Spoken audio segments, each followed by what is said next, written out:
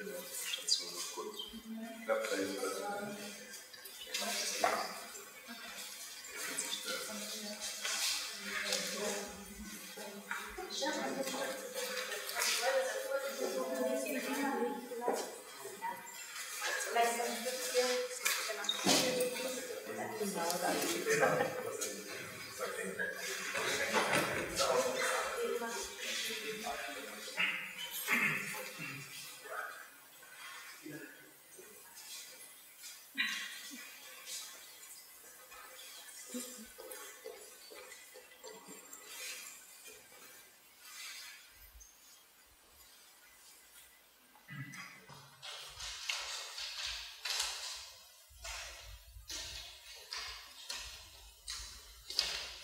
Willkommen. Ich freue mich, dass ich hier so viele Leute versammeln kann. Wir sind hier für meine Abschlussprüfung, meine Bachelorprüfung zusammengekommen. Ganz besonders möchte ich meine Prüfer begrüßen. Professor von Sigmann, Professorin Anna Andersen, Professorin Miete Zubund. Schön, dass Sie hier sind. Wir sind hier aber nicht nur in einer Prüfung, sondern wir stehen hier vor allem in einer studentischen Arbeit. Meine Abschlussarbeit. Die Abschlussarbeit meines Bachelorstudiums. Aber warum? Warum mache ich das hier? Was war die Notwendigkeit dieser Arbeit? Ich bin auf ein Zitat von Roland Barth gestoßen. Die Arbeit, die Forschungsarbeit muss dem Begehren abgewonnen werden. Ist sie es nicht? Ist die Arbeit mürrisch, funktional, entfremdet und bloß von der Notwendigkeit getrieben, eine Prüfung zu bestehen, ein Diplom zu erhalten und den Fortgang der Karriere zu sichern? Damit das Begehren in meine Arbeit einfließt, darf mir die Arbeit nicht von einer Kollektivität abverlangt werden, sondern von einer lebendigen Versammlung von Lesern, in der der Wunsch nach dem anderen laut wird und nicht nach der Einhaltung des Gesetzes. Dieses Zitat aus dem Text Junge Forscher von 1972 begeistert mich. Es begeistert mich so, dass ich es zum Ausgangspunkt meiner wissenschaftlichen Arbeit machen musste. Der Text, junge Forscher, in dem Text Junge Forscher stellt Barth dem funktionalen Studium das Begehren zu studieren gegenüber. Er sieht mich als Forscherin, die ihre studentische Arbeit ihrem Begehren abverlangen sollte. Welche Auswirkungen hat eine Arbeit, die nicht bloß den kollektiven Erwartungen folgt?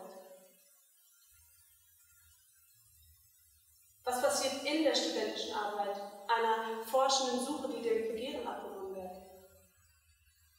Das möchte ich jetzt gemeinsam mit euch herausfinden. Das, was hier in diesen 45 Minuten passiert, stellt meine praktische Arbeit dar. Ich betrachte es als Experiment und möchte euch bitten, dem Video zu folgen, sobald ich diesen Raum verlassen habe. Später werde ich in drei Vortragsteilen mehr über meine wissenschaftliche Arbeit sprechen. Doch dafür lasse ich euch zunächst hier allein.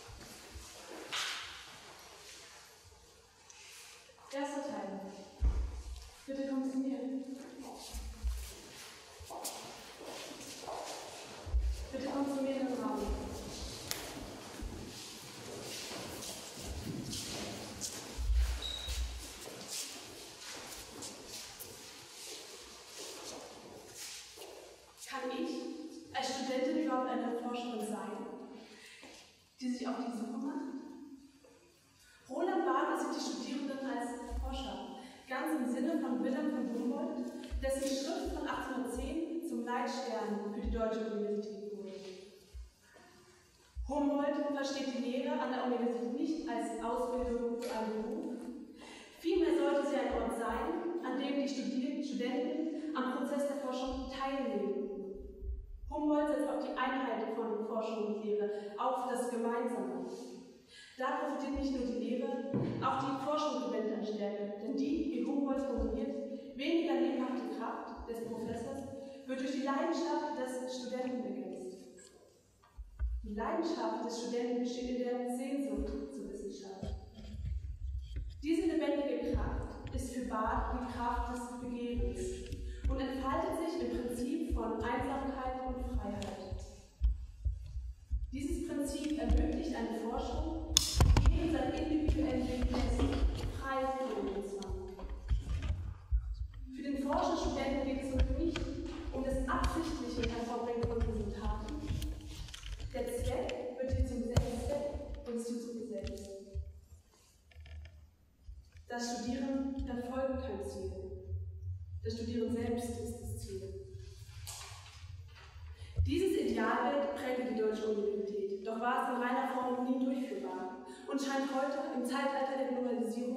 weitgehend verdrängt zu werden. Es entwickelt sich ein neuer Anspruch. Die Universität solle den Studenten nun praxisorientiert für den Beruf qualifizieren. Die Deutsche Universität konnte sich den Forderungen nach einer europäischen Studienform nicht entziehen, die 1999 mit dem Bologna-Prozess in Gang gesetzt wurde. Die Bologna-Erklärung zielt dabei auf größere Mobilität und Vergleichbarkeit der Hochschulsysteme. Vor allem sollen die sogenannten arbeitsmarktrelevanten Qualifikationen gefördert werden. Die Reform ist im Grunde genommen eine Vereinbarung über Kompetenzbeschreibung und Wissensbeständen. Akkreditierung, Evaluierung, Leistungskontrollen, Verschulung der Studiengänge, Studiengänge und alles im Sinne der Zeitoptimisierung. Wenn exakte Lehrpläne erstellt werden, nach denen die Studenten vorzugehen haben, ist die Lehre an der Universität als eine anspruchsvolle Form des Schulunterrichts zu betrachten. Dabei werden die Studienleistungen kontrolliert und verglichen. So geht es nicht mehr um das selber Suchen und Denken, sondern es geht vor allem um die Aneignung von Wissensstoff. Diese Art von Studium verfolgt das Ziel der Berufsqualifizierung. Der Text Junge Forscher bezieht sich auf ein älteres Hochschulsystem, vor der Bologna-Reform. Schon damals angedacht, hat sich die Problematik heute extrem verstärkt. So wird das Studium von der Allgemeinheit vorwiegend als Ausbildung für einen Beruf verstanden. Die individuelle Entwicklung der Studierenden spielt dabei kaum noch eine Rolle. Werden die Studierenden heute nicht mehr als als Forschende verstanden, wird eine individuelle Entwicklung kaum berücksichtigt. Wie könnte das Forschen studieren, das Forschen suchen wieder Raum in der Universität einnehmen?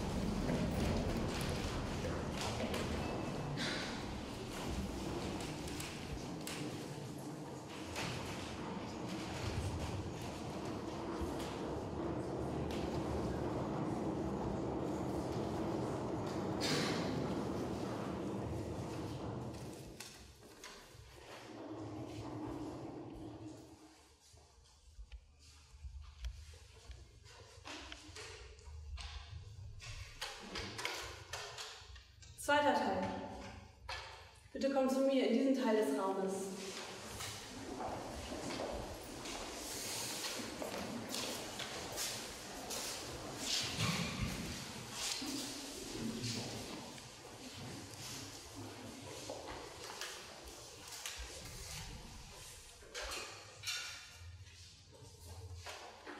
Das Begehren ereignet sich ohne mein eigenes Zutun.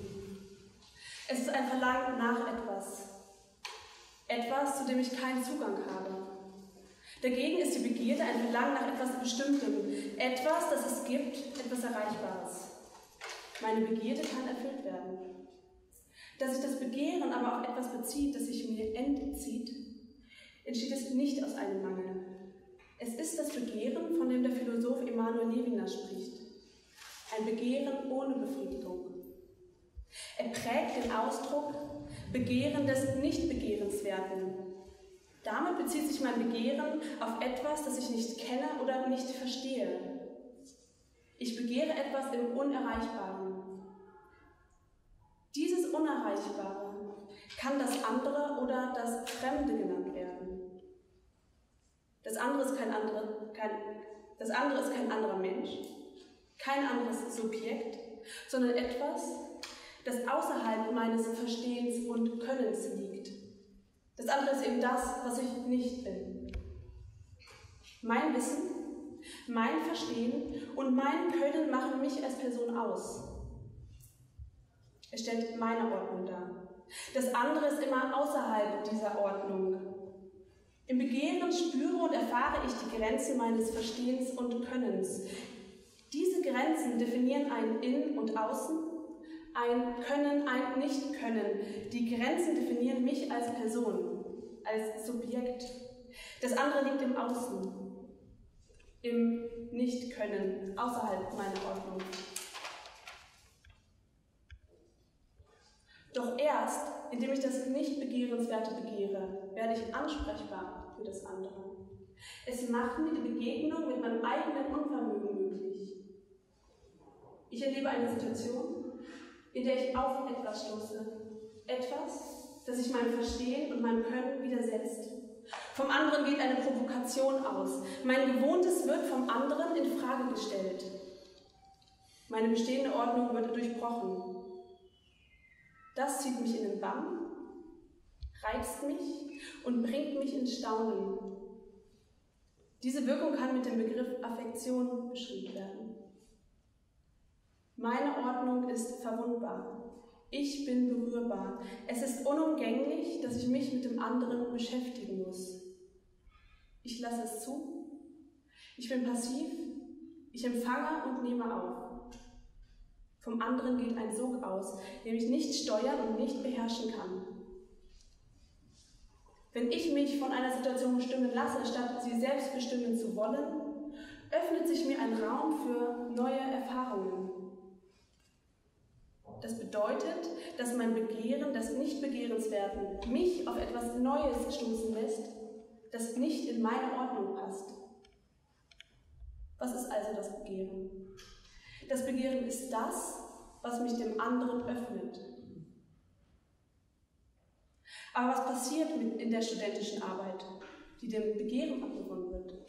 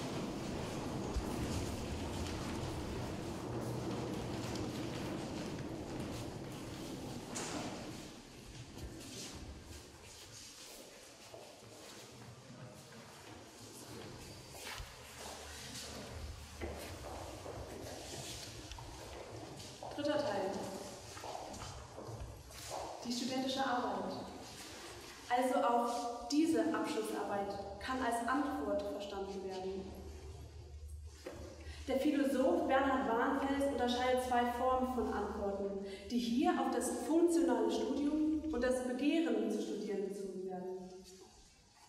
Eine Antwort, die ich meinem Begehren abverlangt habe, als die Reaktion auf das andere oder eine Antwort, die bloß den Nachweis der Berufsqualifizierung verfolgt und die damit einzig auf die Erfüllung einer bestimmten Intention aus ist.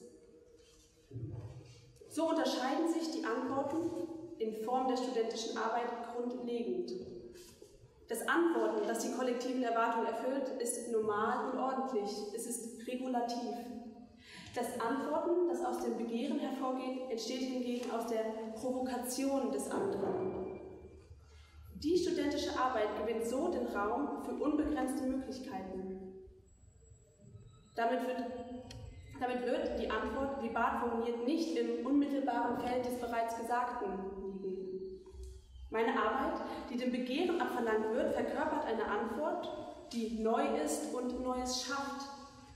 Das ist eine innovative oder produktive Antwort. Der Erfolg meiner studentischen Arbeit liegt laut Barth dabei in der reflexiven Natur meiner Antwort. Die Reflexion verändert nicht nur meine Ordnung, sondern sie verändert auch eine Reaktion beim Empfänger.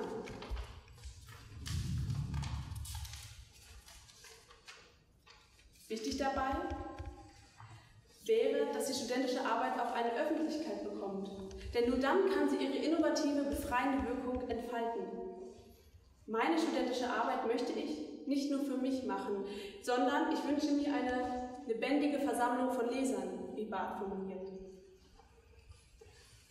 will die Gesellschaft dem Studierenden neben einer reinen Ausbildung auch Bildung im Sinne persönlicher Erkenntnisse zugestehen, dann spielt das Begehren eine entscheidende Rolle. Vom Begehren geht eine Kraft aus, die nicht allein im Interesse des Einzelnen, sondern im Interesse der ganzen Gesellschaft liegen sollte. Doch im Studium nach Bologna gibt es für das Begehren keinen Raum mehr. So findet das andere ein Nichtwissen, ein Nichtkönnen, keine Berücksichtigung. Die Arbeit, die sich innerhalb der festgesetzten Ordnung bewegt, antwortet, wie erwartet, auf den gewohnten Vorgang einer Frage. Dabei wird das Ziel von Erwartung formuliert. Die Antwort ist symmetrisch zu den gestellten Erwartungen. Doch wenn mein eigenes Wissen und Können durch den Widerstand des anderen ins Schwanken kommt, kann eine neue Antwort auf die Provokation des anderen entstehen. Es entsteht eine Asymmetrie zwischen dem Anspruch des anderen und meiner Reaktion. Ein Zitat von Wahlgesetz. Die klassischen handlungstheoretischen Trias von wollen, sollen und können gerät aus dem Gleichgewicht, wenn Fremdes ins Spiel kommt das uns selbst affiziert, angeht, anspricht und alles eigene befurcht. Wenn dieser Moment der Asymmetrie dazu führt, etwas in Frage zu stellen und wieder neu zu suchen, sollte dies nicht als eine Schwäche, sondern als ein Potenzial verstanden werden. In dieser Arbeit wurde mir der Raum ermöglicht, meinem Begehren des Nicht-Begehrenswerten zu folgen. Der Wert des Begehrens sollte sich jedoch nicht auf den künstlerischen Bereich beschränken, denn das Begehren hat einen Wert für alle Studienfächer. Und gerade ein Studienfach überschreitendes Studieren kann neue Impulse geben. Meine Kritik an einem funktionalen Studium ist nicht die Ablehnung eines berufsqualifizierenden Studiums, sondern eine Mahnung, das Studieren nicht darauf zu beschränken, Bevor wir zur Diskussion kommen, noch ein paar Worte. Das Erleben einer Asymmetrie, in der das Gewohnte aus dem Gleichgewicht gerät, ist das nicht auch die Erfahrung eines Schwindels, in dem ich im Raum orientierungslos bin? Der Schwindel ist eine Metapher. Sie erleichtert das Verständnis des Phänomens, das in der Begegnung mit dem anderen entsteht. Im Schwindel bin ich angesprochen vom anderen. Es passiert etwas, das ich nicht verstehe. Etwas, Es passiert etwas, das ich nicht verstehe. Diese Erfahrung verwirrt mich, verwirrt mein Verständnis von Raum. Die, andere, das andere provoziert eine Reaktion, die mich in eine neue Position bringt. So beende ich hier mit dem, einem Zitat von Wallenfels meinen Vortrag. Das Selbstverständliche als selbstverständlich nehmen sagt, dass man sich im Bestehenden einrichtet, als sei es etwas Beständiges. Dankeschön.